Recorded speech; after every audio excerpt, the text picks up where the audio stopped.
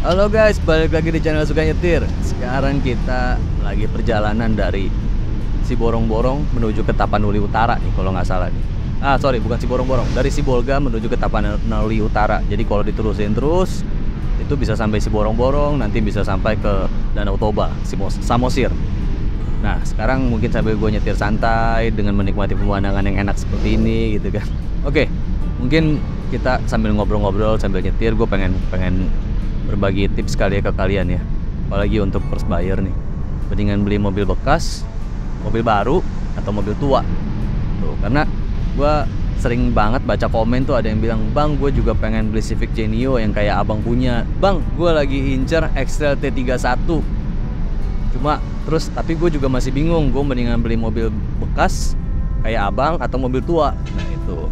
Terus kok kayaknya mobil tua menarik ya cuma takut dengan perawatannya. Oke jadi kita mungkin bahas ya yaitu mobil baru mobil bekas atau mobil tua. Karena setiap pilihan kalian itu mempunyai kelebihannya masing-masing juga dengan kekurangannya. Oke mungkin yang kalian perlu perhatikan kekurangannya karena kekurangannya itu biasanya itu adalah resiko. Nah resiko yang kalian pilih itulah yang menentukan pilihan unit yang akan kalian ambil. Jadi jangan sampai kalian udah ambil unit lalu tidak bisa menanggung resikonya. Karena resiko harus nomor satu kelebihan belakangan. Tapi gue bahas dulu nih. Oke kita bahas mobil baru ya. Eh, kelebihan dan kekurangan membeli mobil baru. Ya kalau mobil baru kalian udah pasti akan mendapatkan mobil yang fresh ya. Udah pasti kecil kemungkinan ada trouble lah. Kalau ada trouble pasti eh, kesalahan dari pabrik dan kalian biasanya bisa klaim untuk minta ganti. Ada sih cuma itu ada kasus seperti itu cuma persentasenya kecil sekali. Oke lalu selanjutnya adalah ya bisa gue bilang low maintenance gitu kan. Karena ya paling cuma apa sih? Ganti oli ganti filter oli lalu ganti filter bensin filter udara udah gitu-gitu aja men. Lalu yang ketiga nah ini. Yang ketiga itu kalian bisa beli dengan proses kredit biasanya uh, dengan DP rendah. Karena apalagi mobil-mobil yang uh, kastanya agak bisa gue bilang kasta bawah lah ya bukan kasta rendah kayaknya rendah tuh jelek banget. Kasta bawah. Kalau di kasta bawah tuh mungkin kalian bisa dapat ya mungkin uh, Agia, Ayla mungkin atasan sedikit masih ada Honda Jazz ya kan? Uh, Yaris bukan bukan Jazz lah ya sekarang City ya. Nah itu biasanya kalian bisa dapat dengan DP rendah tuh cuma 15 juta DP-nya ada yang DP-nya cuma 10 juta. Lalu diskonnya bisa besar apalagi diskon akhir tahun apalagi kalau kalian beli mobilnya di bulan Januari Februari tapi unitnya masih uh, unit September tahun kemarin gitu karena itu biasanya kalian bisa dapat diskon yang besar banget lalu biasanya kalian kalau di mobil baru udah jelas dapat keuntungan uh, free biaya servis jasa servis gitu kan. Lalu uh, udah jelas sih spare part mudah sekali gitu. Apa pun itu mobilnya kalau kalian ke bengkel resmi mudah. Cuma biasanya mereka ada jasanya dan biasanya harganya di up sedikit gitu. nah ini yang kalian perlu perhatikan adalah resikonya. Nah, resikonya itu biasanya dengan budget yang kalian punya kalian nggak punya banyak pilihan tuh.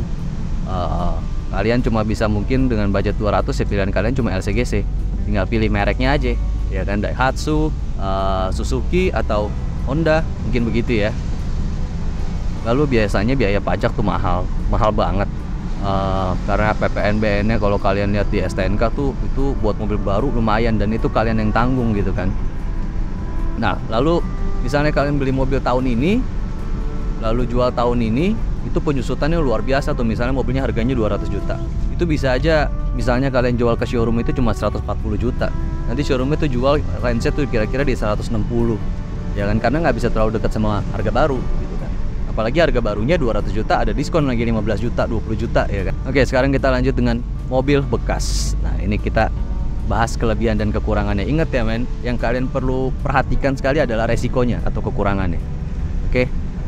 Nah, kita bahas kelebihannya dulu ya. Kalau kalian beli mobil bekas dengan budget yang seadanya, misalnya sera- 200 juta gitu ya, kalian tuh pilihannya banyak. Bisa Mazda CX-7, jadi nggak harus LCGC gitu. Jadi kalian tuh bisa beli mobil dengan budget yang LCGC, tapi kalian bisa dapat kasta atau kelas yang lebih tinggi dibanding LCGC. Lalu kalian bisa memiliki dua opsi juga tuh tetap di mobil bekas tuh. Em, kalian bisa beli dengan pembelian kredit, bisa beli dengan pembelian DP rendah, itu juga masih ada. lalu biaya penyusutan biasanya lebih rendah ya contoh kalian beli mobilnya di tahun 2024 bulan uh, Mei lalu kalian jual 2024 bulan Agustus itu biasanya tidak ada biaya penyusutan kecuali kalian jualnya di showroom lagi misalnya kalian beli di showroom bekas lalu kalian jual lagi di showroom bekas nah ini kekurangan-kekurangannya nih ya men. Kita bahas ya. Ini resiko-resikonya. Ya biasanya resiko yang pertama adalah uh, bisa dapat unit yang nggak fresh. Biasanya gitu kan. Nah itu agak menyesakan tuh karena kita beli mobil dengan harga sekian tapi trouble-nya lebih banyak kalian keluarin budget jatuhnya lebih banyak dibanding beli mobil baru lalu ya biasanya sih kita harus punya keahlian dasar untuk memilih unitnya ya nah, ada feelingnya ada ada ada patokan-patokan yang kalian lihat. Misalnya di bagian kap mesin di bagian bawah ada kropos apa enggak di bagian sasis. Lalu interiornya gimana. Lalu kalian mungkin harus resikonya lagi kalian harus siapin ekstra budget. Misalnya mau kalian punya budget 200 juta lalu kalian harus punya spare budgetnya tuh di 220 mungkin. Di 20 juta tambah 20 juta jadi 220 juta. Atau kalian uh, dengan budget 200 juta kalian harus beli mobil di harga 100 harus memilih unit yang harganya tuh sekitar 160 sampai 180 juta. Nah ini selanjutnya tuh kalian pasti kemungkinan untuk salah menganalisis kan ada ya gitu ya. Lalu uh, kalian juga nggak tahu histori mobil itu. Apakah selalu ke bengkel resmi atau ataukah ke bengkel mana gitu kan. Nah, kalian juga harus punya bengkel yang bisa dipercaya. Karena kalau nggak punya bengkel yang bisa dipercaya itu resiko kalian bertambah. Lalu selanjutnya kelebihan dan kekurangan membeli mobil tua. Nah ini mobil tua nih termasuk yang seru ya. Kalau di mobil tua nih kita bahas dulu kelebihannya uh, harganya sangat murah biasanya. Karena di 100 juta mungkin kalian bisa dapat kelas Teran Nissan Terano mungkin kalian bisa dapat kelas uh, eh, CRV lawas uh, Kijang lawas kalau yang sekarang jadi Innova gitu kan kalian bisa beli Panther kalian Isuzu Panther kalian bisa beli beberapa mobil uh, yang luxury sport seperti Corolla Grid, Civic Genio, kalian bisa beli Vario, kalian bisa beli itu pilihannya banyak banget. Gitu. Nissan X-Trail yang T30 kalian juga bisa beli. Jadi banyak banget pilihannya untuk di mobil tua dengan harga yang sangat murah, mungkin range-nya 50 sampai 100. Lalu biasanya di mobil tua itu build quality-nya nggak main-main gitu. Kayak Nissan X-Trail ini itu kan uh, soft touch ya kan. Nah, di mobil-mobil tahun 80 tahun 90-an itu semuanya rata-rata dashboardnya sampai samping-sampingnya sampai door trim itu soft touch semua gitu lalu tidak ringkih gitu kan uh, ya itu memang itu salah satu kelebihan dari mobil-mobil tua gitu ya lalu pajaknya murah banget gitu. Mungkin pajaknya range-nya ada yang dari 400 ribu sampai 1 juta 100 gitu ya. Lalu ada kemungkinan mobil tersebut tidak ada penyusutan. Bahkan kemungkinan uh, ada kenaikan harga atau kalian bisa bilang tuh di mobil tua tuh bisa investasi gitu. Asal kalian bisa jual di waktu yang tepat uh, dan di saat yang tepat. Itu biasanya bisa jadi investasi gitu. Jadi kalau kalian maintenance mobil tua itu anggap aja mobil tua itu yang kalian maintenance itu sebagai biaya sewa. nah ini kekurangan-kekurangannya nih men, ini kekurangannya banyak untuk mobil tua. Jadi makanya gue bilang resikonya itu yang harus kalian perhatikan dari konten gue ini. Oke resiko yang pertama, maintenance jauh lebih tinggi dibandingkan dengan mobil baru atau mobil bekas. Karena uh, kita nggak boleh salah pilih spare part. Kalau kita kalau kita memang diharuskan untuk substitusi spare part, kita harus mengenal mekanik tersebut memang sudah terbiasa megang mobil tersebut misalnya terbiasa megang Honda terbiasa megang Mercy atau terbiasa megang Volvo gitu kan. Itu kita harus punya bengkel yang seperti itu supaya kita tuh bisa maintenance yang istilahnya bisa lebih murah ada pilihan lain atau gimana gitu kan. Tapi maintenance-nya jauh lebih susah jadinya.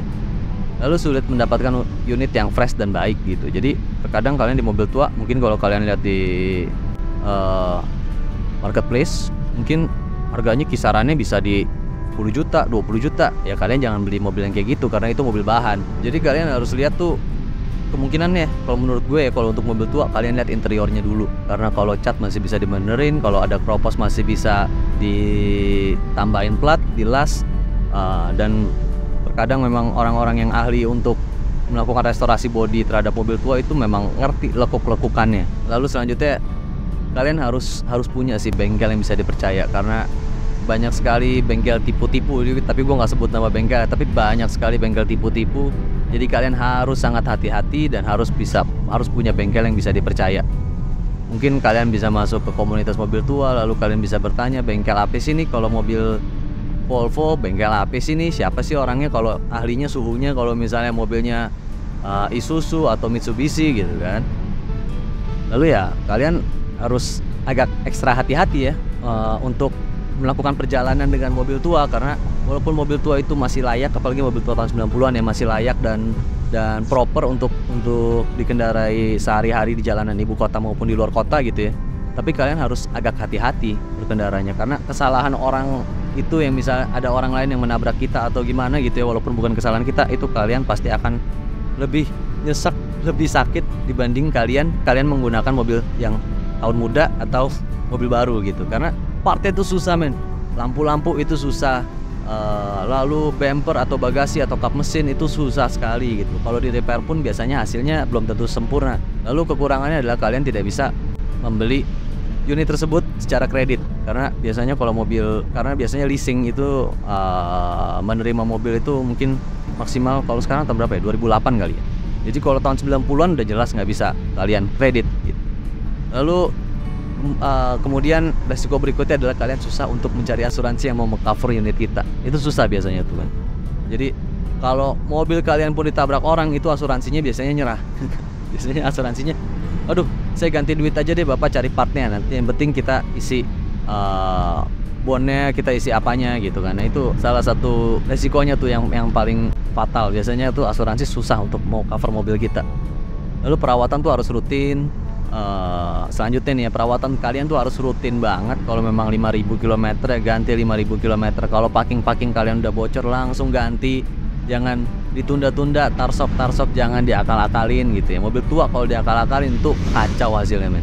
Lalu harus memilih produk oli yang sesuai dengan kualitas kendaraan kita. Nah ini yang paling penting men. Jadi nggak gampang juga sebenarnya cari oli. Nah dengan pengalaman gue yang udah pernah memiliki mobil baru Nissan March mobil bekas Nissan X-Trail ini lalu mobil tua yaitu Honda Civic Genio, BMW E30. Jadi gue selalu mempercayakan oli yang sangat berkualitas untuk setiap kendaraan yang gue miliki, yaitu dengan oli Motul.